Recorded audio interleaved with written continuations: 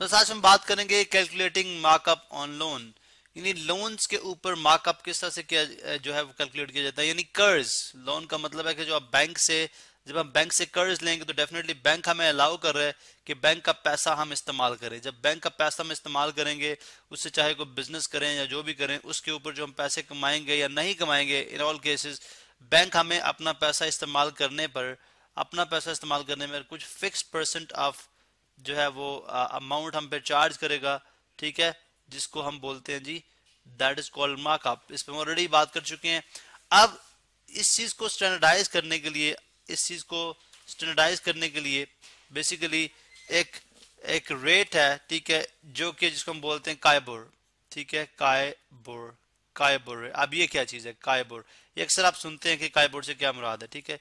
काइबर basically एक ऐसा bench mark rate है ठीक है benchmarked rate marked rate marked rate ठीक है। काइबर एक ऐसा बेंच मार्क्ड रेट है जो कि Karachi inter bank offer rate जैसे जिससे काइबर बनता है, ठीक है। Karachi inter bank offer rate जो है, जो कि जिसको यानी इस, ये कौन इशू करता है? स्टेट बैंक ऑफ़ पाकिस्तान ये कौन इशू करेगा? स्टेट बैंक ऑफ़ पाकिस्तान ठीक है एसबीपी जो कि 12 मंथ्स पे होता है, ठीक है, या थ्री वन मंथ का हो सकता है, यानी अगर वन मंथ के लिए कोई, अगर वन मंथ बाद कोई अगर आप आपको पैसा वापस करेगा तो उसके ऊपर आप कितना जो है वो मार्कअप चार्ज करेंगे उसको, ठीक है? इसी तरह अगर वो थ्री मंथ के लिए करता है थ्री मंथ्स के लिए करता है, फिर कितना चार्ज करेंगे, ठीक है? इसी तरह वो सिक्स मंथ्स के लिए करता है, फिर कितना चार्ज करेंगे, ठीक है? और इसी तरह से अगर नाइन मंथ्स के लिए करता है, फिर कितना चार्ज करेंगे और इसी तरह से अगर twelve months and so one के लिए करता है तो कितना चार्ज करेगा बैंक ठीक है, यानी मार्कअप कितना होगा? फॉर एग्ज़ाम्पल इसको हम एक्सप्लेन करेंगे विद हेल्प ऑफ़ एग्जांपल ये वो फिक्स रेट होता है। अब इसके अलावा अगर आप देखें तो बहुत बैंक का जो मार्कअप है, वो डिफरेंट होता है। उसमें थोड़ी बहुत कमी बेशी होती है। उसकी रीजन क्या है? उसकी रीजन ये है कि काइबर के अंदर काइबर के अंदर बैंक जो है बैंक जो है, वो अपने एंड पे, अपने एंड पे जो है, एक क्वेश्चन ऐड करते हैं। अपने एंड पे एक क्वेश्चन ऐड करते हैं। ठीक है, मैं इसको लिख देता हूँ। ठीक है? क्वेश्चन क्वेश्चन ऐड करते हैं, ठीक है? क्वेश्चन बेसिकली क्या होता है? वो डिफरेंस है जो कि डिपॉजिट रेट है, यानी जब आप पैसे डिपॉजिट करते हैं तो बैंक आपको जितने पैसे देगा, ठीक है? और लैंडिंग रेट का डिपॉजिट का और लैंडिंग का, ठीक है?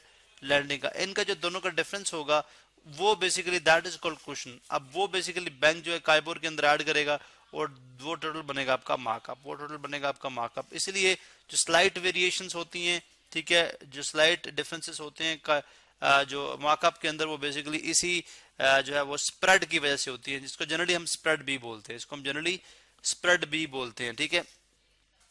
अब ये जो ये जो ये जो मार्कअप है किसी भी बैंक के लिए is a very good source of income यानी बैंक इससे जो है वो बहुत अच्छे भले पैसे कमाता है, ठीक है? और ये बैंक का एक बहुत बड़ा, आप यूँ समझे कि बैंक की एक प्रोडक्ट है, इसको सर्विस क्या लें?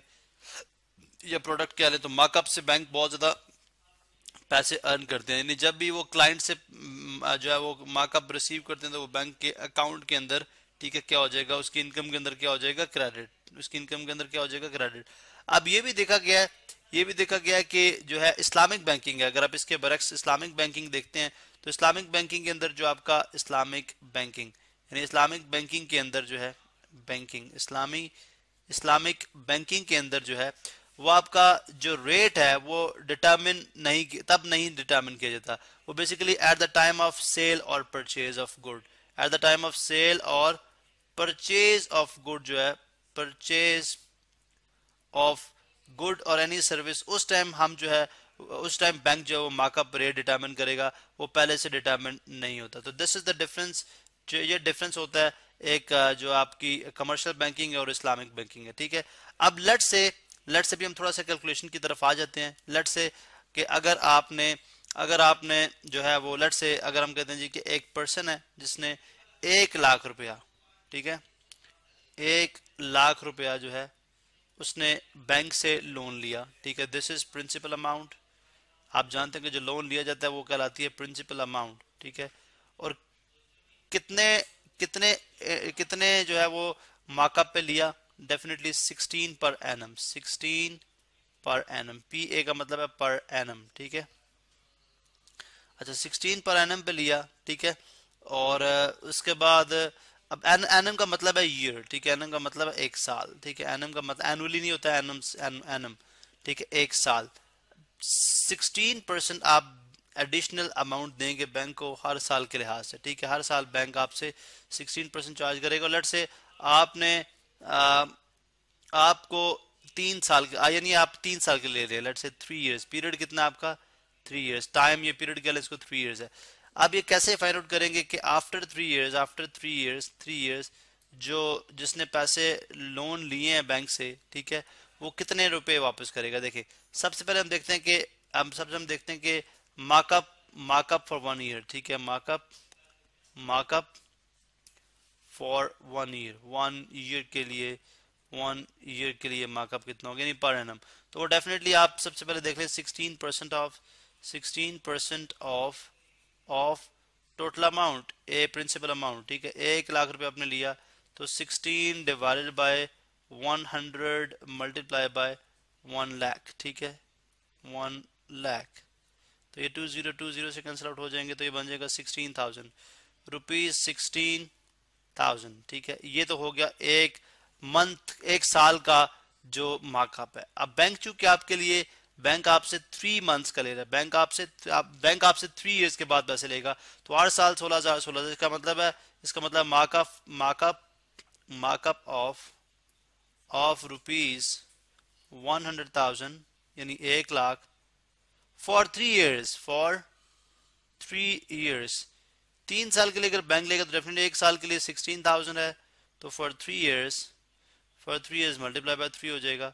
सो so, हमें हमारे पास आ जाएगा rupees forty eight thousand rupees forty eight thousand यानी फोर्टी एट थाउज़ेंड रुपीज़ हम एक्स्ट्रा देंगे। ठीक है? In the form of markup ये बैंक की इनकम है ये बैंक की इनकम है ठीक है? अब बेसिकली अगर आप ये देखें अगर आपने ये चेक करने के मार्कअप कितना दे, देंगे आप तो वो डेफिनेटली फोर्टी एट थाउज़ेंड होगा। लेकिन जो पैसे बैंक को आप तीन सालों में रिटर्न करेंगे वो क्या होगी? Principal amount plus markup principal amount plus markup यानी प्रिंसिपल प्लस मार्कअप ये आपके पास मार्कअप है और ये प्रिंसिपल है यानी जो टोटल पैसे आपने लिए थे। तो एक लाख अड़तालीस हज़ार रुपया आप तीन साल के बाद बैंक को वापस करेंगे। आपने लिया कितना था? एक हज़ार वापस कितना करेंगे? एक लाख अड़तालीस हज़ार। ठीक है? अब जो अड़तालीस हज़ार है डेफिनेटली वो मार्कअप की अमाउंट है, जो बैंक के लिए सोर्स ऑफ़ इनकम है।